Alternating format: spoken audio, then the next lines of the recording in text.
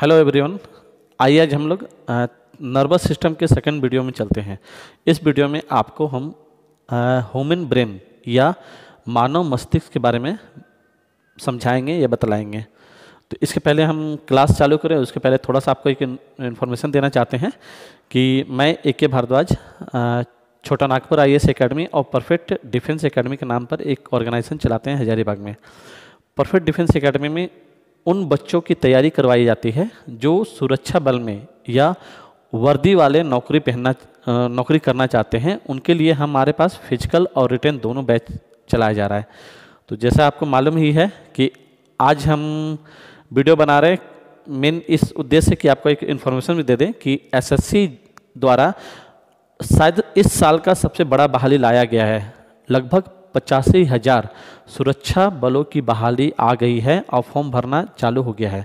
तो आप लोग जो बच्चे लोग, जिनका हाइट अच्छा है या जो बच्चे सुरक्षा बल की तैयारी कर रहे हैं, वो फॉर्म भर लीजिए और उसके लिए हमारे पास एक स्पेशल बैच चलाया जा रहा है। हमारा ब्रांच दो जगह है हजारीबाग में, एक है आनंदा चौक पर और एक है आपका बाबू चौक पर। तो जहाँ भी आपको कंफर्टेबल हो, वहाँ पर बैच में ज्वाइन कीजिए और बहुत अच्छा एक सुविधा हम आपको बताते हैं कि वैसे बच्चे जो आर्थिक कमी की वजह से अपना क्लास नहीं कर पा रहे हैं, उनके लिए हमारी संस्था द्वारा एक सेवा ट्रस्ट के माध्यम से हम जुड़ के एक काम कर रहे हैं, जिसमें अभी तक हमको गर्ल्स लोगों के लिए मिला है। ये गर्ल्स लोगों के लिए कुछ फंड हमको मिल रहा है, जिसमें मात्र नौ सौ निन्यानवे में हम उन गरीब छात्राओं को मदद कर पा रहे हैं जो आर्थिक कमी की वजह से, आर्थिक तंगी की वजह से क्लास नहीं कर पा रहे तो उनके लिए बहुत अच्छा ये बेनिफिट मिल रहा है कि नौ सौ निन्यानवे में उनका पूरा फ़िज़िकल क्लास कराया जा रहा है। लगभग तीन से चार महीना का क्लास है, जिसमें पूरे नौ सौ निन्यानवे में फ़िज़िकल क्लास करवाएँगे और साथ रिटर्न क्लास छः घंटा से आठ घंटा के बीच में आपको डेली पढ़ाया जाएगा। तो इस सुविधा का लाभ लीजिए और इस सुविधा को लेने के लिए आपको एक राशन कार्ड का हमको चाहिए। जिससे आप राशन उठाते हैं, राशन कार्ड का फोटोकॉपी या ई e का फोटोकॉपी चाहिए या आपको बीपीएल कार्ड का फोटोकॉपी हो तो वो चाहिए और आपका आधार चाहिए। तो ये दो अगर आपके पास है तो आप आइए हमारे सेंटर में, जहाँ नौ सौ निन्यानवे में आपको तीन से चार महीना क्लास पूरे तरह रिटर्न और फ़िज़िकल दोनों कराया जाएगा। ये महिला सॉरी महिला या लड़की को ये सुविधा मिला है, और बहुत जल्दी हम कुछ लड़कों को भी ये सुविधा उपलब्ध करवा देंगे। तो वैसे बच्चियाँ जो आर्थिक कमी की वजह से नहीं पढ़ पा रहे, उनको इस नौ सौ निन्यानवे में फ़िज़िकल रिटर्न तथा ऑनलाइन और पूरे क्लास का लेक्चर वीडियो कम से कम सात सौ घंटा का लेक्चर वीडियो आपको उपलब्ध करवा देंगे। तो कोशिश कीजिए इस सुविधा का लाभ लीजिए। हमारे संस्था का अपना हॉस्टल है। गर्ल्स हॉस्टल बॉयज़ हॉस्टल दोनों अलग अलग है। तो जो बच्ची बाहर रहती है वो इस वीडियो को देखिए, अपने गार्जियन को समझाइए कि, पापा, हमको कुछ समय के लिए जाने दीजिए। यहाँ पर लड़कियों के लिए स्पेशल प्रोटेक्शन के साथ गर्ल्स हॉस्टल चलाया जा रहा है। जहाँ पर आप यहाँ रहिएगा तो एक एजुकेशन का माहौल इन्वॉल्व क्रिएट होता है। उस माहौल में आपको कंपटीशन करने में अच्छा लगेगा। आप अकेले ग्राउंड में दौड़िएगा तो आप ही हमेशा फ़र्स्ट कीजिएगा। परंतु जब कंपटीशन दूसरे के साथ कीजिएगा तो आपको पता चलेगा कि आप में क्या कमी रह गया है। तो कोशिश कीजिए मम्मी पापा से बात कीजिए। मात्र नौ सौ निन्यानवे रुपये लग रहा है आपको और आप आइए हॉस्टल में रहिए। यहाँ पर, यहाँ की लड़कियों लोगों के साथ मिलकर कंपटीशन क्रिएट कीजिए और आप अपने आप को बेहतर कर पाइएगा। इस कारण कोशिश की मम्मी पापा को समझाइए और आइए यहाँ पर, ठीक है ना? यहाँ गर्ल्स के लिए अलग हॉस्टल है और बॉयज़ के लिए अलग हॉस्टल है। और सुबह में आपको पाँच से लेकर आठ बजे तक ग्राउंड में फ़िज़िकल ट्रेनिंग दिया जा रहा है। फिर दस बजे से लेके दो बजे तक क्लास है। शाम को चाहिएगा तीन बजे से लेकर छः बजे तक क्लास है। तो अब चाहिए तो दोनों क्लास ज्वाइन कीजिए और कोशिश कीजिए इस बार रिज़ल्ट लेने का। साथ ही बता दें कि Chhota Nagpur I S academy में जेपीसी का बैच हमको लगता है कि आपको पाँच दिसंबर से प्रारंभ हो रहा है। तो जो बच्चा जेपीसी की तैयारी करना चाहते हैं या अदर कंपटीशन की तैयारी करना चाहते हैं, जिसमें उनका हाइट कम है, हाइट कम है तो इसका मतलब नौकरी नहीं मिलेगा ऐसा हम नहीं सोचना है। हाइट कम है तो आप रेलवे का तैयारी कीजिए जे का तैयारी कीजिए या एस एस सी का तैयारी कीजिए एम का तैयारी कीजिए, जहाँ पर हाइट का ज़रूरत नहीं पड़ता है। तो उन बच्चों को लोगों के लिए अभी हमारा जे का एक स्पेशल बैच आ रहा है तो उसको ज्वाइन कीजिए, सुबह सात से नौ चलेगा। ठीक है ना? तो आइए हम लोग फिर वीडियो में वापस आते हैं। तो पिछले वीडियो में जैसे आपको स्क्रीन पर दिख रहा है, हम पीछे वीडियो लगा दिए हैं। और एक चीज़ और बता दे रहे कि जो भी हम पढ़ा रहे हैं, उसका अगर आप पीडीएफ चाहिएगा तो हमारे वीडियो के डिस्क्रिप्शन में देखिएगा, हम सभी एग्ज़ाम को लेकर एक अलग अलग व्हाट्सएप ग्रुप बनाए हैं। आप किसी व्हाट्सएप ग्रुप में ज्वाइन कीजिए, जो चीज़ का तैयारी करना है, जैसे जेपीएससी का तैयारी करना है, आप जेपीएससी के व्हाट्सएप ग्रुप में ज्वाइन कर लीजिए एसएससी का तैयारी करना है एसएससी के व्हाट्सएप ग्रुप में ज्वाइन कीजिए। यहाँ पर बाइलिंगुअल पीडीएफ नोट्स हम दे देंगे, जिसको आराम से आप पढ़ सकते हैं। साथ में इसमें मॉक टेस्ट का हम लिंक लगा देंगे, जो भी चैप्टर हम पढ़ा रहे हैं, उसको आप टेस्ट दे देखिए कि आपको कितना याद हो पा रहा है या कितना हम समझा पा रहे हैं। तो चलिए हम लोग क्लास स्टार्ट करते हैं। तो जैसा कि हम पिछले क्लास में आपको बता चुके हैं कि तंत्रिका तंत्र दो प्रकार के होते हैं या तंत्रिका तंत्र को दो कैटेगरी में बांटा जाता है। पहला है सेंट्रल नर्वस सिस्टम और पेरीफेरल नर्वस सिस्टम हम सेंट्रल नर्वस सिस्टम की बात करेंगे तो सेंट्रल नर्वस सिस्टम में हमारे पास ब्रेन और स्पाइनल कोड दो चीज़ है, जिसके बारे में हम लोग को पढ़ना पड़ता है। तो पहला आज का लेक्चर हमारे पास ब्रेन के बारे में है। बहुत इंपॉर्टेंट क्वेश्चन बनता है और ब्रेन से बहुत सारे एग्ज़ाम में परीक्षा पूछे जाते हैं। और टिपिकल टॉपिक है, जिसको लेकर बहुत सारे बच्चे लोग नर्वस आते हैं कि सर हमको समझ में नहीं आता है, तंत्रिका तंत्र। इसको हम कोशिश कर कि आप बहुत आसान भाषा में आपको समझा दें। तो चलिए, क्या है? सबसे पहले तो परिभाषा का अगर बात करेंगे, मस्तिष्क मानव शरीर का सबसे जटिल अंग है। यह विचार, स्मृति एवं यादों को संग्रहित रखता है तथा शरीर को निर्देशित करता है कि वह इनका क्रियान्वयन कैसे करेगा? या शरीर को नियंत्रित करने का कार्य कौन करता है? तो ब्रेन करता है। तो क्लियर है? तो एक सिंपल परिभाषा अगर हम बात करेंगे तो मस्तिष्क मानव शरीर का वह जटिल अंग है जो स्मृतियों को याद रखने, समझने या एनालिसिस करने की क्षमता रखता है और उन्हीं के अनुसार शरीर को कार्य करने की प्रेरणा देता है। पहला सिंपल परिभाषा, धरती पर पाए जाने वाले सभी सजीवों में मानव मस्तिष्क सबसे डेवलप है, सबसे डेवलप है। अगर इसके बात अगर देखा जाए तो हमारे बाद सबसे डेवलप ब्रेन डॉल्फिन का है। किसका है? डॉल्फिन का है। तो ये भी याद रखिएगा, मनुष्य के बाद सबसे ज़्यादा विकसित अगर हम लोग मस्तिष्क का बात करेंगे ब्रेन का बात करेंगे, किसका है? तो डॉल्फिन का है। उसके बाद अगर बात करेंगे तो ऑक्टोपस का ब्रेन बहुत विकसित माना जाता है। ऑक्टोपस का भी ब्रेन भी बहुत दिमाग तेज है। तो ये तीन जीव हैं जिनको याद रखिएगा। सबसे धरती पर सबसे विकसित दिमाग किसका है? तो मनुष्य का। उसके बाद हम लोग देखेंगे तो डॉल्फिन का। उसके बाद अगर देखेंगे तो ऑक्टोपस का। मानव मस्तिष्क का निर्माण एक विशेष प्रकार की कोशिका से हुआ है, जिसे हम नर्व सेल कहते हैं। हमारे मस्तिष्क में लगभग 100 अरब, कितना बोले हम? 100 अरब नर्व सेल कोशिकाओं से बना है हमारा मस्तिष्क। लगभग 100 अरब कोशिकाओं से बना है, जिसमें मात्र 15 अरब कोशिकाएँ ही सक्रिय है। ध्यान रखिएगा, मात्र 15 अरब कोशिकाएँ सक्रिय होती है, बाकी सब निष्क्रिय पड़ी रहती हैं, हम उनका यूज़ नहीं कर पाते हैं। तो सोचिए, जिस दिन हमारे पास 100 प्रतिशत अगर हम ब्रेन का यूज़ करें तो अल्टीमेट पावर आ जाएगा। और ये लोग, इसी का साधना करते हैं मॉम लोग। तिब्बत के मॉम लोग जो है ना, इन्हीं, इसी की साधना करते हैं। और देखते नहीं है, वो लोग कुछ हॉलीवुड का मूवी देखा जाता है। और एक दो हॉलीवुड बहुत अच्छा इसका नाम है लूसी। कभी आपका मौका मिलेगा तो हंड्रेड परसेंट ब्रेन का यूज़ करने की क्षमता को दिखलाया गया है लूसी नामक मूवी में। तो आप हॉलीवुड का मूवी देखिएगा उसमें, बहुत अच्छा हमको लगा देखने में। तो हम अपने ब्रेन का मात्र पंद्रह परसेंट, सौ अरब है, जिसमें मात्र पंद्रह परसेंट अरब पंद्रह परसेंट ही यूज़ कर पाते हैं। पंद्रह अरब कोशिकाएँ ही सक्रिय हैं, बाकी निष्क्रिय अवस्था में पड़ी रहती हैं। एक चीज़ और जानेंगे कि यह सक्रिय कोशिका किस अवस्था में होती है? तो मानव शरीर में जो तंत्रिका कोशिका है, वे सक्रिय पाँच साल की अवस्था से होना प्रारंभ हो जाती है। उसके पहले नहीं होती है। पाँच वर्ष की अवस्था में वह धीरे धीरे सक्रिय होने लगती है और वो लगातार सक्रिय होते रहती है, कम से कम आपके साठ साल तक। आपका एक्टिव होते रहेगा और धीरे धीरे वो घटना चालू हो जाएगा। वृद्धावस्था में पुनः क्या होता है? मस्तिष्क आपका काम करना बंद कर देगा और धीरे धीरे न्यूरॉन सेल अपना एक्टिव खत्म होने लगेगा। तो यहाँ तक क्लियर है? दूसरा, अगर हम लोग जानेंगे तो इसका वेट कितना होता है? तो एक सामान्य मनुष्य में, एक वयस्क मनुष्य में, सामान्य मनुष्य में पुरुषों में इसका वेट है 1400 ग्राम। पुरुषों में वेट है 1400 ग्राम। और महिलाओं में कितना वेट होता है? तो महिलाओं में 1100 ग्राम।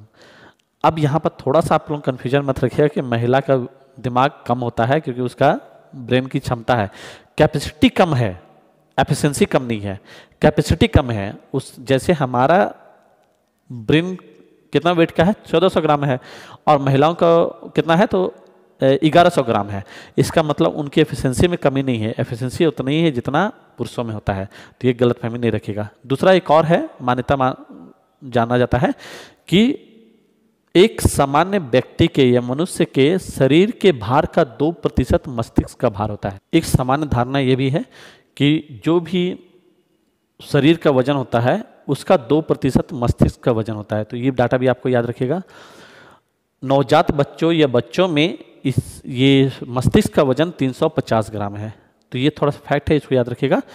क्या क्या फैक्ट हम याद करवाएँ? तो पहला फैक्ट याद करवाएँ कि मस्तिष्क का निर्माण 100 अरब कोशिकाओं से हुआ है, जिसमें 15 अरब कोशिकाएँ सक्रिय हैं, बाकी निष्क्रिय अवस्था में पड़ी रहती हैं।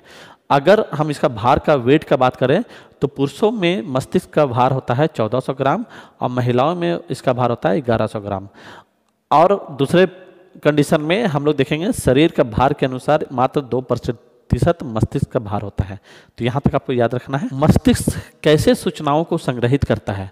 तो आपको नर्व सेल में भी बताए थे कि मस्तिष्क जो है, मस्तिष्क विद्युत रासायनिक संकेतों के माध्यम से सूचनाओं को एकत्रित करता है और संग्रहित रखता है। तो ये आपको याद रखना है, अगर मस्तिष्क में क्या क्या पदार्थ पाए जाएँगे तो पदार्थ के आधार पर हम देखेंगे, क्या उसमें है क्या क्या चीज़ से बना है। तो मस्तिष्क में लगभग 60 प्रतिशत फैट पाया जाता है। क्या पाया जाता है? 60 प्रतिशत फैट पाया जाता है। और बाकी का 40 प्रतिशत में हम लोग देखेंगे, प्रोटीन, कार्बोहाइड्रेट, गिलियन कोशिकाएँ पाई जाती है। मस्तिष्क में क्या क्या पाई जाती है? तो 60 प्रतिशत केवल फैट है। उसमें 40 प्रतिशत में आपको प्रोटीन भी मिलेगा, कार्बोहाइड्रेट भी मिलेगा नर्व्स कोशिका मिलेंगे या न्यूरॉन कोशिका मिलेगी और गिलियन कोशिकाएँ पाई जाती है। तो इतनी चीज़ों से बना है। इसमें दो प्रकार के मैटर है। इन पदार्थों को हम लोग दो मैटर में विभाजित कर सकते हैं। पहला एक मैटर को कहते हैं ग्रे मैटर। पहला एक मैटर को कहते हैं ग्रे मैटर और दूसरे को कहते हैं व्हाइट मैटर। पहले को कहेंगे ग्रे मैटर और दूसरे को कहेंगे व्हाइट मैटर। स्क्रीन के पीछे हम वीडियो भी लगा दिए हैं। तो उसमें देखिएगा, मस्तिष्क में जो भी पदार्थ हैं, वो उनको दो कैटेगरी में विभाजित किया जा सकता है। एक को कहते हैं ग्रे मैटर देख रहे हैं, ऊपर वाला पार्ट है, जो ग्रे है और नीचे वाला पार्ट को व्हाइट मैटर कहते हैं। बहुत इंपॉर्टेंट क्वेश्चन यहाँ बनता है, इसलिए ध्यान समझिएगा। ऊपर वाले पार्ट को ग्रे मैटर कहते हैं, निचला पार्ट को व्हाइट मैटर कहते हैं। तो ग्रे मैटर मस्तिष्क का बाहरी आवरण का निर्माण करता है। मस्तिष्क के बाहरी आवरण का निर्माण कौन करता है? ग्रे मैटर और आंतरिक भाग का निर्माण कौन करता है? तो व्हाइट मैटर तो पहला चीज़ फैक्ट हमको याद रखिएगा कि मस्तिष्क का निर्माण दो प्रकार के मैटर मतलब पदार्थों से हुआ है। एक को कहते हैं ग्रे मैटर एक को कहते हैं व्हाइट मैटर इसमें वही चीज़ पाए जाएँगे जो अभी बताए थे ना आपको फैट पाया जाएगा प्रोटीन पाया जाएगा कार्बोहाइड्रेट पाया जाएगा न्यूरॉन सेल पाए जाएँगे। मगर ये दो अलग अलग कैटेगरी में बटे रहते हैं। एक को कहते हैं हम लोग ग्रे मैटर ऊपर वाला, और एक को कहते हैं व्हाइट मैटर जस्ट इसके अपोजिट अगर हम लोग देखेंगे, जब हम लोग रीढ़ की हड्डी पढ़ेंगे या स्पाइनल कोट की बात पढ़ेंगे स्पाइनल कोट में ग्रे मैटर जो होता है, वो अंदर में होता है व्हाइट मैटर बाहर में होता है। यहाँ पर क्या हो रहा है? तो व्हाइट मैटर अंदर है और ग्रे मैटर बाहर है। पहला चीज़ ग्रे मैटर का निर्माण न्यूरोन सोम से हुआ है, जो सेल बॉडी के अंदर पाया जाता है। जब हम लोग हम लोग आज बात करेंगे, देखिए आपको स्क्रीन पर दिखाते हैं। तो जो ग्रे मैटर है, उसका निर्माण किससे हुआ बेटा? तो न्यूरॉन सोम्स से हुआ है। न्यूरॉन सोम्स से हुआ है, जबकि व्हाइट मैटर का निर्माण ये माइलिन सीट से कवर किया हुआ एक्सॉन से होता है। माइलिन सीट से जो कवर किया हुआ है, ये एक्सॉन इससे हुआ है। व्हाइट व्हाइट मैटर का निर्माण माइलिन से कवर या माइलिन से लिपटा हुआ एक्सॉन से होता है, जबकि ग्रे मैटर का निर्माण न्यूरोसोम्स नामक इस सेल बॉडी से होता है, सेल बॉडी का जो पार्ट होता है, उससे होता है। दोनों का अलग अलग फ़ंक्शन है, इसलिए बहुत इंपॉर्टेंट चीज़ है जो बता रहे हैं, उसको ध्यान समझिएगा। जो ग्रे मैटर है, वो सूचनाओं को संग्रहित करके उसको एनालिसिस करता है। सूचनाओं को संग्रहित करके उसका एनालिसिस या क्या कहते हैं, परीक्षण करता है। जबकि जो व्हाइट मैटर है, वह सूचनाओं को प्रसारित करता है, वह भेजता है उन अंगों तक जहाँ पर उनकी आवश्यकता है या उन अंगों से रिसीव करता है और लाके ब्रेन में छोड़ता है। तो दोनों का काम एनालिसिस करने का काम कौन है? तो ग्रे मैटर का काम है और जो सूचनाओं को प्रसारित करता है या उन अंगों तक पहुंचाता है, उसका काम कौन कौन करता है? तो व्हाइट मैटर करता है। तो उम्मीद करते हैं यहाँ तक आपको समझ में आया होगा। तो हम लोग बात करेंगे यहाँ प्रोटेक्शन ऑफ़ ब्रेन ब्रेन कैसे प्रोटेक्ट है? या हमारे शरीर द्वारा कैसे प्रोटेक्शन दिया गया है। तो सबसे पहला तो देखेंगे हम लोग, एक बाल भी है जो प्रोटेक्शन का काम करता है। इसके अलावा हमारा खोपड़ी सबसे मज़बूत प्रोटेक्शन लेयर तैयार करता है। खोपड़ी जो है स्कल है, वो सबसे मज़बूत लेयर तैयार करता है। इसके ऊपर भी हम लोग देखेंगे तो दो परत पाई जाती है। स्किन को मिलाकर तीन परत। खोपड़ी के ऊपर भी तीन परत पाई जाती है, खोपड़ी के नीचे भी तीन परत पाई जाती है। खोपड़ी के ऊपर वाली परतों को हम लोग पहला स्किन परत है। स्किन के नीचे अगर देखेंगे तो आप लोग देखते जाइए स्किन स्क्रीन पे। स्किन सबसे ऊपर में हुआ, उसके बाद एपोन्यूरोसिस हुआ। उसके बाद एपोन्यूरोसिस हुआ और पेरियास्टेम पेरियास्टेम। स्किन एपोन्यूरोसिस और पेरियास्टेम, ये तीन लेयर है जो इस अस्कल के ऊपर से आपको मस्तिष्क को सुरक्षा दे रही अस्कल के नीचे बात करेंगे, खोपड़ी के नीचे तो उस खोपड़ी के नीचे वाले जो तीन परत है वो संयुक्त रूप से मेनेंजिस कहते हैं। इस तीन परतों को संयुक्त रूप से मेनेंजिस कहते हैं। इस खोपड़ी के नीचे वाले परत को हम लोग क्या कहेंगे? ड्यूरामेटर आर्कनोइड मैटर और पिया मैटर फिर से ड्यूरामेटर आर्कनोइड मैटर और पिया मैटर ये तीन है जो मस्तिष्क को सुरक्षा प्रदान करती है। इसमें सबसे मोटी परत है तो ड्यूरा ड्यूरामेट है। ड्यूरामेटर है। उसके बाद आर्कनोइड मेटर स्पंज की तरह या मकड़ी की जाल की तरह हमारे मस्तिष्क को घेरे हुए है और सबसे पतली परत हमको मिलेगा मैटर तो ये तीन मैटर है जो है, जो ब्रेन को सुरक्षा प्रदान करती है। चलिए, आइए हम लोग बात करते हैं स्ट्रक्चर ऑफ़ ब्रेन इसमें हम लोग देखेंगे। तो सबसे पहले ब्रेन को है ना कंप्लीटली ब्रेन को हम लोग तीन अलग अलग वर्गों में विभाजित कर सकते हैं। जैसे स्क्रीन पे आइए स्क्रीन पे देखते हैं हम लोग चलते हैं। तो इनको, ब्रेन को हम लोग मस्तिष्क को तीन भागों में बांट सकते हैं। पहला है एक कौन अग्र मस्तिष्क, इसको फोर ब्रेन कहते हैं। दूसरा है मध्य मस्तिष्क, इसको मिड ब्रेन कहते हैं। और एक अंतिम है, जिसका नाम है हैंड ब्रेन। इन तीनों के कई उपवर्ग मिलेंगे, मगर मस्तिष्क को हम लोग मोटे तौर पर तीन वर्गों में विभाजित करते हैं। पहला, अग्र मस्तिष्क, फोर ब्रेन, दूसरा मध्य मस्तिष्क मिड ब्रेन और तीसरा हैंड ब्रेन इसमें देखेंगे फोर ब्रेन को हम लोग पुनः तीन वर्गों में विभाजित कर सकते हैं। पहला, जो सबसे बड़ा हिस्सा बनेगा डिटेल हम बताएँगे। अभी केवल वर्गीकरण को समझिए। तो पहला फोरब्रेन को हम लोग सेरिब्रम कहते हैं। सेरिब्रम में विभाजित कर सकते हैं थैलेमस और हाइपोथैलेमस में विभाजित करते हैं। इनका क्या काम होता है, हम बताएँगे अभी आपको। दूसरा मिड ब्रेन का कोई डिवाइड नहीं है डिवीज़न नहीं है, वो सिंपल मिड ब्रेन एक है। तो हैंड ब्रेन को देखेंगे तो इसको भी तीन भाग में बांटा गया जाता है। तो पोन्स दूसरा मेडुला ऑब्लिगेंटा और तीसरे बेलम ये तीन वर्गों में हम लोग हैंड ब्रेन को बांटते हैं। तो आपको उम्मीद करते हैं, ये समझ में आया होगा वर्गीकरण। अब इसका धीरे धीरे हम लोग क्लासिफिकेशन करते चलेंगे। तो पहला हम लोग फोरब्रेन के बारे में बात करेंगे। तो फोरब्रेन को देखते हैं। फोरब्रेन को हम लोग तीन वर्गों में बांटे हैं। तो पहला, मस्तिष्क का पहला हिस्सा क्या है? फोरब्रेन है। फोर ब्रेन के बारे में बात करते हैं तो फोर ब्रेन को हम लोग क्या किए, तीन वर्गों में विभाजित किए। तो फोरब्रेन के अंदर में सेरिब्रम आता है हाई सेरिब्रम हाइपोथैलेमस और थैलेमस ये तीन वर्गों में बांटते हैं। चलिए हम लोग सेरिब्रम के बारे में बात करते हैं। तो सेरिब्रम में पहला चीज़ आपको जानना है कि सेरिब्रम मानव मस्तिष्क का सबसे बड़ा हिस्सा है। मानव मस्तिष्क में सबसे बड़ा हिस्सा कौन है? सेरिब्रम है। यह दो हिमस्फेयर या दो लोब्स में बटा हुआ है। एक स्क्रीन पर भी आ जाइए, स्क्रीन पर देख रही है। तो एक लेफ़्ट लोब है और एक राइट लोब है। एक लेफ़्ट लोब है और एक राइट लॉब है। लेफ़्ट लॉब हमेशा राइट बॉडी को कंट्रोल करता है, जबकि राइट लॉब है, वो हमेशा लेफ़्ट बॉडी को कंट्रोल करेगा। तो एक पहला फैक्ट है कि सेरिब्रम मानव मस्तिष्क का सबसे बड़ा हिस्सा होता है। यह दो भाग में बटा हुआ है, जिसे हिमस्फेयर कहते हैं। सेरिब्रम हिमस्फेयर कहलाता है। तो लेफ़्ट हिमस्फेयर और राइट हेमस्फेयर में बटा हुआ है। लेफ़्ट हेमस्फेयर राइट बॉडी को कंट्रोल करेगा और राइट हेमस्फेयर लेफ़्ट बॉडी को कंट्रोल करेगा। पहला यहाँ तक क्लियर है। यह दोनों लोब्स है जो आपस में कॉर्पस कुलम से बंधा रहता है। आपस में कैसे जुड़ा रहता है? कॉर्पस कुलम से बंधा। सेरिब्रम का जो ऊपरी पार्ट है ना, वह नर्व सेल से बना हुआ है। इस नर्व सेल को हम लोग सेरिब्रम कॉर्टेक्स कहते हैं, कॉर्टेक्स कहते हैं, सेरिब्रम कॉर्टेक्स कहते हैं। फिर से, सेरिब्रम का ऊपरी पार्ट जो है, वह नर्व सेल का बना होता है, जिसे हम सेरिब्रम कॉर्टेक्स कहते हैं। याद रखिएगा, यह कॉर्टेक्स जो होता है, वह ग्रे मैटर से बना होता है। किसे? Grey matter. तो यहाँ पर देखिएगा, आपको दिखाते हैं। सेरिब्रम है। इसका जो ऊपरी पार्ट है, ये तो इसी को कहते हैं हम लोग सेरिब्रम कॉर्टेक्स, जो ग्रे मैटर का बना हुआ है। आपको याद है, ग्रे मैटर हम बताए थे, जो न्यूरॉन सोम से बना हुआ है या सेल बॉडी से बना हुआ है, जो हम पिछले अभी चर्चा कर चुके हैं। सेरिब्रम जो है, वह भी चार हिस्सों में बटा हुआ है। जैसे स्क्रीन पर आपको दिख रहा है, पहला है फ्रंट लोब, दूसरा है पेराइटल लोब तीसरा है टेम्पोरल लोब और चौथा है ऑसिपिटल लोब। ये चार भागों में सेरिब्रम जो है वो बटा हुआ है।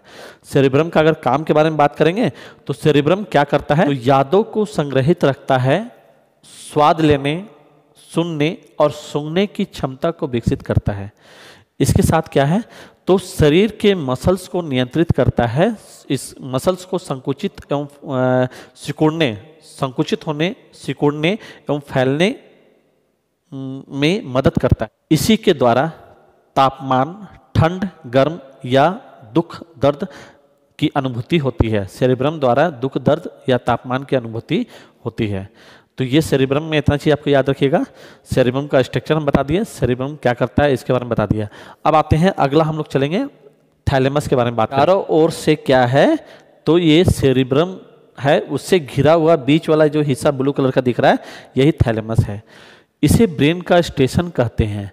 यहीं पर क्या है? तो सभी जगह से सूचनाएँ एकत्र होकर यहाँ आती है। जैसे हमें गर्म लगा, ठंडा लगा या कुछ भी हम देखे, सुने, महसूस किए, वो सभी सूचना कहाँ आता है? सेंसरी न्यूरॉन के माध्यम से यहाँ पर आता है। और यहीं पर से ब्रेन द्वारा भेजा गया सिग्नल यहाँ जाता है सबसे पहले और यहीं से अन्य शरीर के अंगों में जाता है और उसके अनुसार रिएक्ट करता है। तो ये स्टेशन का काम करता है। मतलब सूचनाओं को लेने या सूचनाओं को भेजने के पहले यह, सबसे पहले थाइलेमस में जमा होता है। चोट लगने पर सबसे पहले यही डैमेज हो जाता है। या आपको जब झटका लगता है तो देखते हैं आपका ब्रेन काम करना बंद कर देता है तो सबसे पहले यही डैमेज होता है। अपने आप को सुसाइड करके या अपने आप को नष्ट करके ये बाकी को बचाने की कोशिश करता है थैलेमस थैलेमस के बाद हम लोग हाइपोथैलेमस का बात करेंगे। तो फोरब्रेन में ये तीन मेजर पार्ट है पहला सेरिब्रम दूसरा थैलेमस और तीसरा हाइपोथैलेमस तो आपको दिख रहा होगा ये ब्लू कलर का जो है यह थैलेमस है। यह ब्रेन का सबसे छोटा भाग है। जैसे अभी हम सबसे बड़ा भाग सेरेब्रम बताए थे, वैसे सबसे छोटा भाग कौन सा बेटा है? तो थैलेमस है। ये हाइपोथैलेमस है। सबसे छोटा हाइपोथैलेमस है। ये ऊपर से थैलेमस और नीचे से पिट्यूटरी ग्लैंड द्वारा घिरा हुआ है। ऊपर से आपको, देखिए कलर चेंज करते हैं इसका। ऊपर से हमको पिट्यूटरी, थैलेमस मिलेगा और नीचे से पिट्यूटरी ग्लैंड, यहाँ पर जो छोटा सा दिख रहा है, इसको पिट्यूटरी ग्लैंड कहते हैं। ये पिट्यूटरी ग्लैंड से घिरा हुआ है। यह हमारे शरीर में पिट्यूटरी ग्रंथ से निकलने वाले हार्मोन को नियंत्रित करता है, साथ ही शरीर में जल की आपूर्ति को निश्चित करता है, तापमान को निश्चित करता है। तो इन सभी को कंट्रोल करने वाला, नियंत्रित करने वाला कौन सा है? तो हाइपोथैलेमस है। हाइपोथैलेमस में एक चीज़ आपको याद रखना है कि हाइपोथैलेमस जो है, वही ऑटो नर्वस सिस्टम को कंट्रोल करता है, जो हमारे कंट्रोल में नहीं है, उन चीज़ों को नियंत्रित करने का काम कौन करता है? तो हाइपोथैलेमस करता है। जैसे हम सांस ले रहे हैं, हमारे दिल का धड़कन चल रहा है, हमें हार्मोन या लीवर के अंदर में कुछ बाइल जूस का ज़रूरत है, या जो भी हमारे कंट्रोल के बाहर है, उन सभी को नियंत्रित करने का कार्य कौन करता है? तो हाइपोथैलेमस करता है।